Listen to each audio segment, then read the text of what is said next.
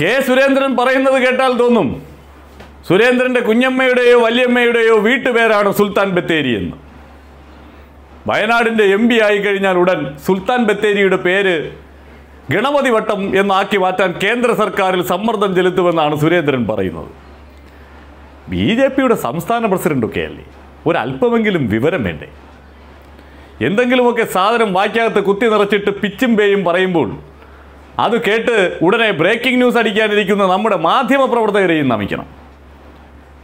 സുരേന്ദ്രനോട് പറഞ്ഞ് മനസ്സിലാക്കി കൊടുക്കണം. അല്ലെങ്കിൽ ഒരു മറുചോദ്യം ചോദിക്കണം. എങ്ങനെയാണ് ഒരു എം പിക്കോ കേന്ദ്ര സർക്കാരിനോ ഒരു സ്ഥലത്തിന്റെ പേര് മാറ്റാൻ സാധിക്കുക എന്ന്? കെ സുരേന്ദ്രൻ വയനാട് എം എന്നല്ല ഇന്ത്യയുടെ പ്രധാനമന്ത്രിയായാലും സുരേന്ദ്രന് സുൽത്താൻ ബത്തേരിയുടെ പേര് മാറ്റാൻ സാധിക്കില്ല. കാരണം അത് സുരേന്ദ്രന്റെ കുഞ്ഞമ്മയുടെ വീട്ടുപേരല്ല എന്നുള്ളത് കൊണ്ട് തന്നെ കേരളത്തിലെ ഒരു പ്രധാനപ്പെട്ട പട്ടണത്തിന്റെ പേരാണ് സുൽത്താൻ ബത്തേരി എങ്കിൽ ആ പേരിന്റെ ഒരു അക്ഷരത്തിൽ എന്തെങ്കിലും മാറ്റം വരുത്തണമെങ്കിൽ കേരള സർക്കാർ തീരുമാനിക്കണം. തൽക്കാലം കേരളം ഭരിക്കുന്നത് നരേന്ദ്രമോദിയല്ല സുരേന്ദ്രന്റെ ഏതെങ്കിലും മച്ചമ്പിമാരുമല്ല. നല്ല ഉശിരുള്ള പിണറായി വിജയനും എൽ ഡി എഫുമാണ് കേരളം ഭരിക്കുന്നത്. അതല്ല എങ്കിൽ ഭരിക്കാൻ കോൺഗ്രസ്സുകാരുണ്ട്. അപ്പോൾ അവരൊക്കെ ഭരിക്കുന്ന കാലത്ത് സുൽത്താൻ ബത്തേരിയുടെ പേര് മാറ്റി ഗണപതി വട്ടം എന്നാക്കി മാറ്റാൻ സാധിക്കില്ല എന്നുള്ള കാര്യം സുരേന്ദ്രൻ അറിഞ്ഞുകൂടാത്തത് കൊണ്ടാണോ?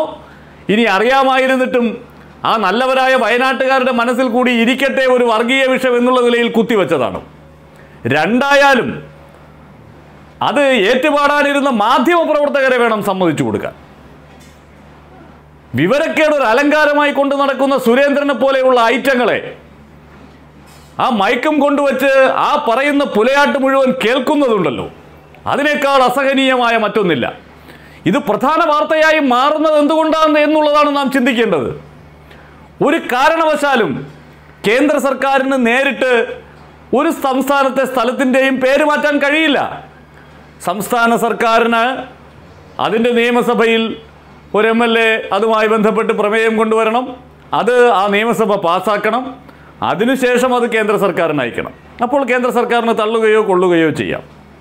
അതായത് സംസ്ഥാന സർക്കാർ വിചാരിക്കാതെ ഒരു സ്ഥലത്തിന്റെ ആ സംസ്ഥാനത്തുള്ള ഒരു സ്ഥലത്തിന്റെ പേര് മാറ്റാൻ കഴിയില്ല എന്നുള്ള സാമാന്യ ബുദ്ധി പോലും ഇല്ലാത്തയാൾ എം പി ആവാൻ മത്സരിക്കുകയാണ്. എം പി ആകില്ല എന്നുള്ളത് പോട്ടെ പക്ഷേ എം പി ആകാൻ മത്സരിക്കുന്നുണ്ടല്ലോ. ഇത്രമാത്രം വിവരമില്ലാത്ത ഐറ്റങ്ങളെ ഈ കേരളത്തിലെ ജനത ഒരു ദേശീയ പാർട്ടിയുടെ നേതാവ് എന്നുള്ള നിലയിലൊക്കെ സഹിക്കേണ്ടി വരുന്നു എന്നുള്ളതാണ് സങ്കടകരമായിട്ടുള്ള കാര്യം. യഥാർത്ഥത്തിൽ വയനാടുകാരൊക്കെ വളരെ സമാധാനത്തോടു കൂടി നല്ല മതമൈത്രിയോട് കൂടി ജീവിക്കുന്ന ആളുകളാണ്. അവിടെയൊന്നും വർഗീയ വിദ്വേഷത്തിന്റെ ഒരു കണിക പോലും കാണാൻ കിട്ടില്ല. ഈ സംഘികൾ അങ്ങോട്ടേക്ക് പ്രവേശിച്ച ഘട്ടങ്ങളിൽ ചില കുഴപ്പങ്ങൾ ഉണ്ടായിട്ടുണ്ട് എന്നതൊഴിച്ചാൽ. സുരേന്ദ്രനും അതിനുള്ള പരിശ്രമമാണ് നടത്തുന്നത്. പച്ചയ്ക്ക് വർഗീയത കുത്തിവെക്കുകയാണ്. സുൽത്താൻ ഗണപതി മതിയല്ലോ. അതുകൊണ്ടാണ് പറഞ്ഞത് ഇതിനകത്ത് സുരേന്ദ്രൻ ഒളിപ്പിച്ചു കടത്താൻ ശ്രമിച്ച ആ വർഗീയ വിഷത്തെ നമ്മുടെ മാധ്യമപ്രവർത്തകർ അംഗീകരിച്ചു കൊടുക്കുകയായിരുന്നു. അവർ ഒരു മറു ചോദ്യം പോലും ചോദിക്കാതെ നിശബ്ദരായി ഇരുന്നത് ഓ എന്തോ മഹത്തായ കാര്യം സുരേന്ദ്രൻ ചെയ്യാൻ പോകുന്നു എന്നുള്ള മട്ടിലാണ് ഓൺലൈനുകളൊക്കെ വാർത്തയടിക്കുന്നത്. ഗണപതി വട്ടമാക്കി മാറ്റാൻ പോകുന്നു അത്രേ. ഒരിക്കൽ കൂടി പറയുന്നു സുരേന്ദ്രൻ എന്നല്ല നരേന്ദ്രമോദി എന്നല്ല ഇന്ത്യൻ പ്രസിഡന്റ് വിചാരിച്ചാലും തൽക്കാലം.